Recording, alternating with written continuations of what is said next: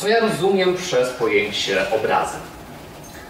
Gdy na przykład czytamy sobie słowo pejoratywne, czy ktoś wie, co znaczy słowo pejoratywne?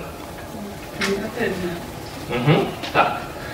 Encyklopedia powiedziałaby nam, że mający negatywne, obraźliwy wydźwięk lub znaczenie. No i okej, no i gdzieś tam może sobie to przeczytam trzy razy, cztery, pięć, jest spoko. A gdyby na przykład pejoratywny z czymś sobie skojarzyć, czy wam się coś kojarzy z słowem pejoratywny? Peja na przykład, nie? Jest taki raper. Czy każdy zna peję?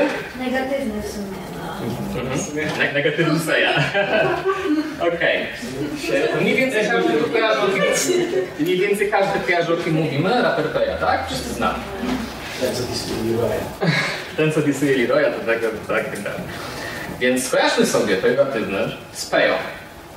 Wyobraźmy sobie, że na przykład peja nie wiem, stoi sobie gdzieś i mówi nie, nie, nie, to jest negatywne, to jest złe, tego nie chcę na przykład. Nie? I mówi faktyt, ja, ja w to nie wchodzę, albo ja nie chcę takiego hip-hopu, nie, czy cokolwiek. Peja, który mówi nie, stanowcze nie, nie zgadzam się.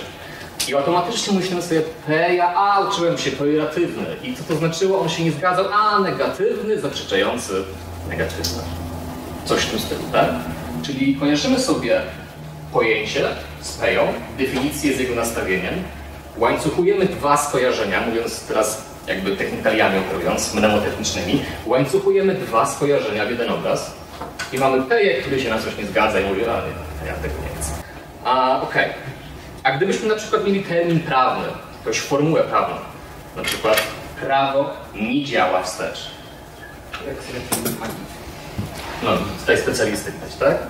A jaki macie pomysł na skojarzenie do prawo nie działa wstecz na przykład? Taki kierowca, co cofa na przykład, yy, który zastanawia i cofnia, żeby cofnąć I? i się to nie udaje. No trafiłeś, nie? Nieźle, nieźle. Masz, masz dobrą wyobraźnię, no dajemy widzę na podobnych falach wyobrażeniowych. Wyobraziłem sobie pana Korwina Mikke. Dlaczego? Bo Korwin Mikke jest prawicowcem, a więc prawo, prawicowiec. Pasuje mi, nie? Jest, jest to podobne. Wrzuca wsteczny, ale mu się nie udaje, ma problem. Mówi tam coś tam, coś tam po swojemu roboczemu i z, i z zająknięciem mówi, że nie wchodzi wsteczny, tak? Coś takiego. Przez wszystkich lewaków, tak? I, i tak dalej. Um, i to mi automatycznie ten obraz przypomina o tym, że Korwin prawicowiec, prawo, nie może wrzucić stycznego, prawo działa wstecz. Mówi do mózgu obrazem, a wydobywam z te- tej interakcji tekst, który mogę powiedzieć na egzaminie, albo po prostu mogę zachować w sobie, jak będę potrzebował. Whatever. Podsumowując, gdyby nasz mózg na przykład był Drake'em, mówiłby, że nie chcę tekstu, nie chcę twojego przekazu pod tytułem kopia encyklopedii jeden do jednego do mojego mózgu, tylko wolę, gdy rozmawiasz ze mną obrazkami.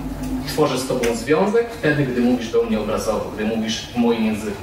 Bo nikt z nas nie chce się wiązać z kimś, kto nie operuje naszym językiem, bo wtedy taka relacja nie ma sensu. Zgadzamy się, tak?